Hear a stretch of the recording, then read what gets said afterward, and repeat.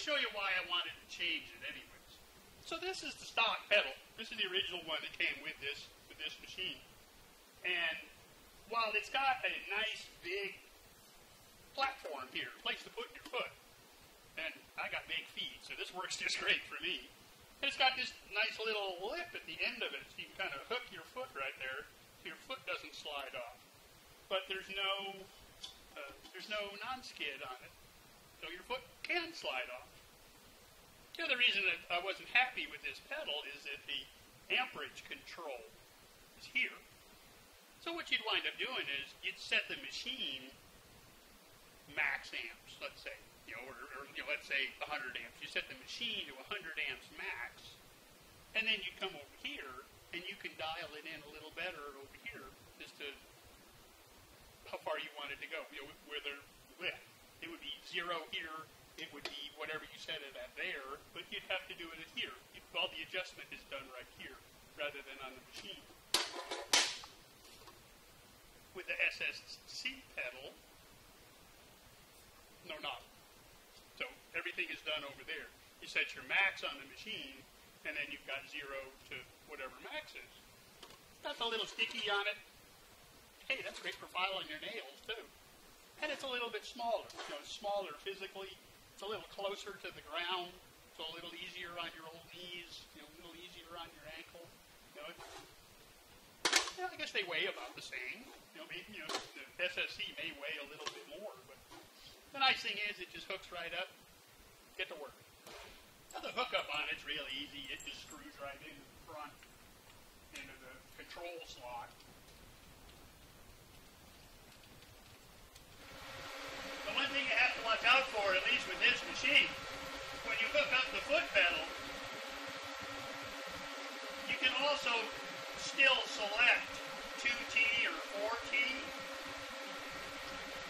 So make sure it's not in 4T foot pedal. That gets really exciting. What happens? It keeps running. You know, you push the pedal. You sit there and play with it. You let go of the pedal, it doesn't shut off. You have to hit the pedal again to get it to shut off. So just make sure you set it in pedal.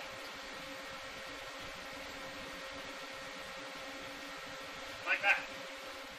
One of the cool things with the SSC pedal is a lot less spring tension. Even though it's got a shorter, a shorter pedal than this one does, boy, feels like about half of the spring tension of the stock pedal. Put your hands right at the bottom of it like your foot would be, and boy, you can't even just you can just barely even get that one to bend with your hand So a lot easier on your ankle, you know, especially when you're sitting there all day trying to pulse with it. You're sitting there welding with it. You know, gonna save the old ankle. We got the machine set up at 150 amps max. So start it from zero. We'll take it up to see what we get. But just to start it off at the bottom, you know, just give it a little press. Let's see how small of an arc we can get.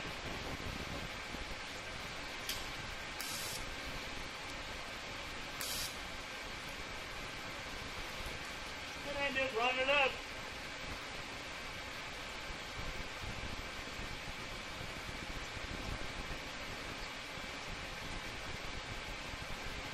Nice and smooth, it's nice and controlled, you know, you don't, you don't have to push like you're pushing on a truck, on a clutch on an old truck.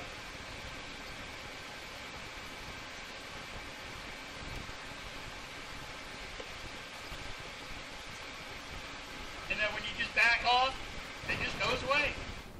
So I, am really not much of a gadget guy. Yeah, right. Well, okay, yeah, sort of, but uh, I, you know, I'm not. Cha- I don't want to change things just for change's sake.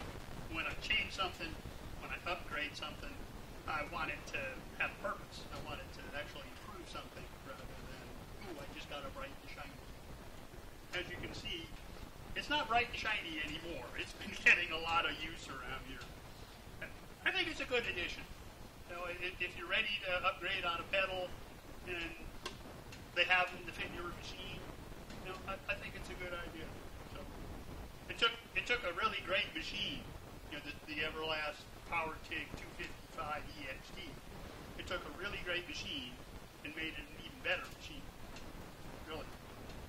So I'm gonna get back to work, and you guys are gonna come out and find me on Facebook, Kevin Caron Artist. Nope. No, Corona Studios. Kevin Caron Studios. I don't even know where I am anymore. you guys have fun. I'll see you next week.